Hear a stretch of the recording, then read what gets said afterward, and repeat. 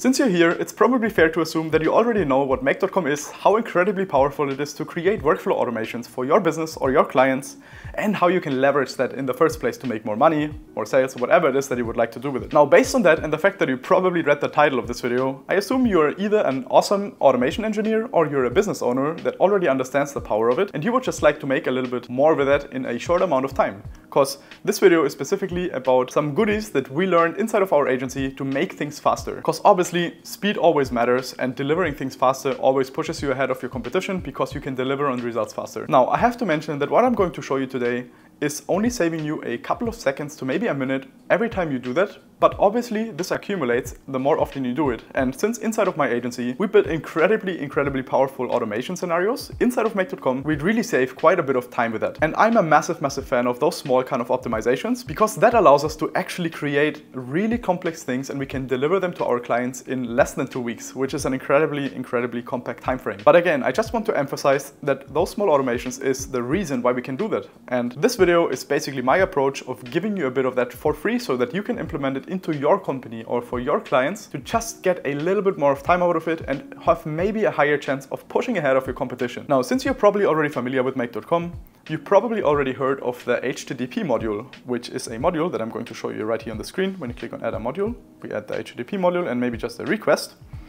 You probably already know that this module basically allows you to do a request to an external platform that is not hosted on Make.com so that, so that you can communicate with it without the need for any kind of custom code or custom integrations. All this module does is it can send requests to an external platform and it can receive data from an external platform. So this is incredibly powerful for things that Make.com not natively integrates with or maybe the integration isn't good enough. In our example, and if you have seen my previous videos, you probably know that Make.com isn't the best if it comes to go high level integrations.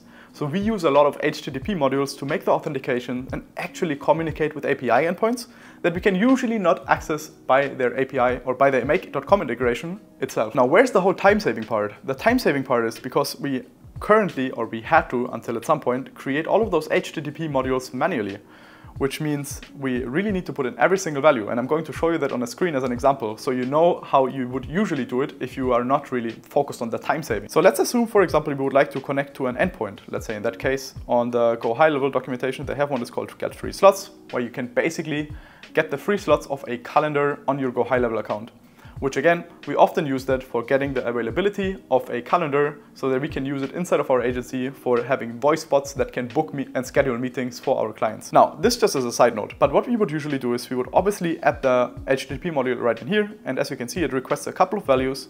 So I would basically match the URL with the URL that we need from the endpoint, which in that case would be the get free slots endpoint up here. I'm just gonna copy that, paste it inside of the URL field here. Then I would basically match the request method to the response in that case, or to the request. In that case, it's a get request, which already matches. So now you can see here, we also need a couple of other parameters.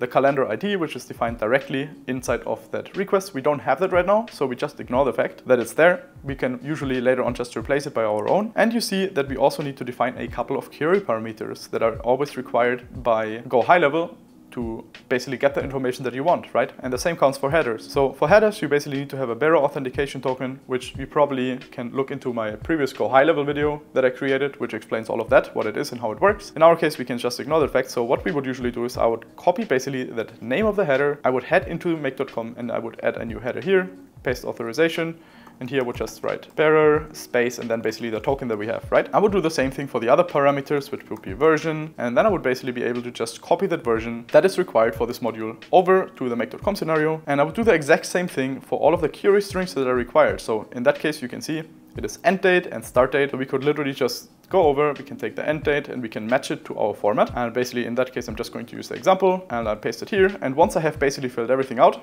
I would click on OK and then I would test the module by just right clicking and run this module only. Now, you can see that by just filling out those kind of requests and actually understanding the documentation first, what is required, and putting it in here, you sometimes need up to a minute, maybe two, for getting this thing set up, or maybe even longer if you really have no idea how the documentation works, or it's not that properly documented. And what we now implemented inside of our agency is a custom-made GPT that we use to create all of those modules dynamically. And this is incredibly powerful because it just allows us to do things faster while we actually focus on other work. So it's not just that we save time, we are also more efficient, which again just gives us even more time to do more productive things while building out scenarios. So if you're part of my journey for a while now, you know that I really, really, really love to share things with you that you can implement into your business and make more money with it and leverage that. And I usually do that completely for free. So you can simply head over to my hub, my resource hub, which you find below in the description. It is hub.integraticus.com.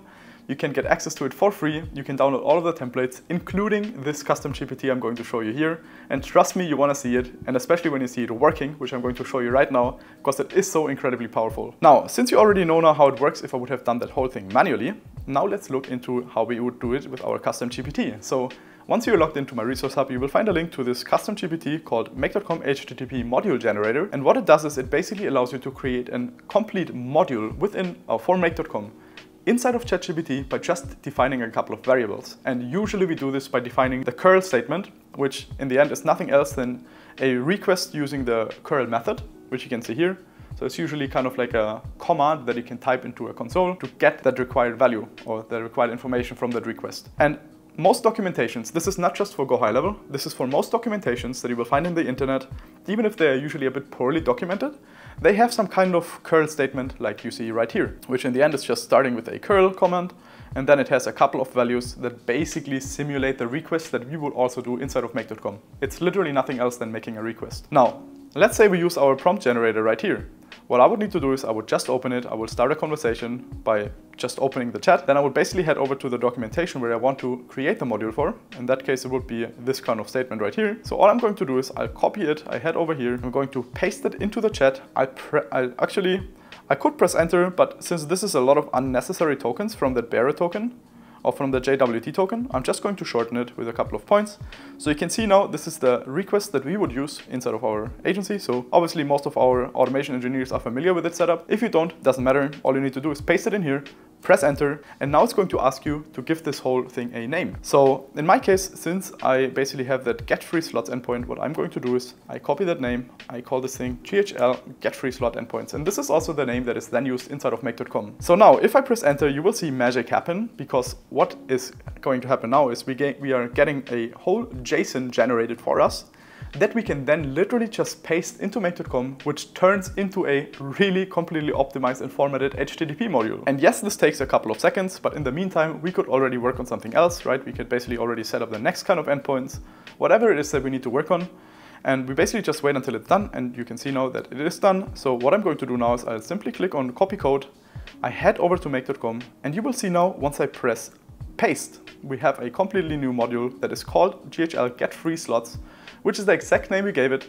And when I look into it, you can see here that it defines already the URL, it has the proper parameters, it set the acceptance, it also set the bearer token, so I can literally just replace the part with a dynamic bearer token that I created. It has the version added, and you even have the query strings directly inside of those fields with the predefined values. So I can literally just replace them by the dynamic data, whatever that dynamic data is, and I can literally just click on raw or on, on OK, and I can test this thing.